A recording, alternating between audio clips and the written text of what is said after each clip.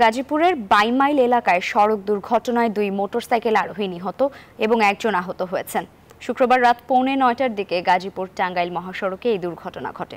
Police জানায়, গত রাত নয়টার কিছু সময় পর কোনাবাড়ি থেকে মোটরসাইকেল যোগে মঞ্জুর সরকার, এহসান হাসান ও আব্দুল হামিদ ঢাকা টাঙ্গাইল মহাসড়ক ধরে গাজীপুরের দিকে যাচ্ছিলেন। এ সময় বাইমাইল ব্রিজের ওপর পৌঁছালে পেছন দিক থেকে আসা একটি কাভার্ড ভ্যান মোটরসাইকেলে ধাক্কা দেয়। এতে কাভার্ড ভ্যানের চাকায় পিষ্ট হয়ে মঞ্জুর সরকার ও এহসান হাসান ঘটনাস্থলে মারা যান। গুরুতর আহত হন আব্দুল হামিদ। আহত অবস্থায় তাকে শহীদ তাজউদ্দিন আহমেদ মেডিকেল কলেজ হাসপাতালে পাঠানো হয়েছে।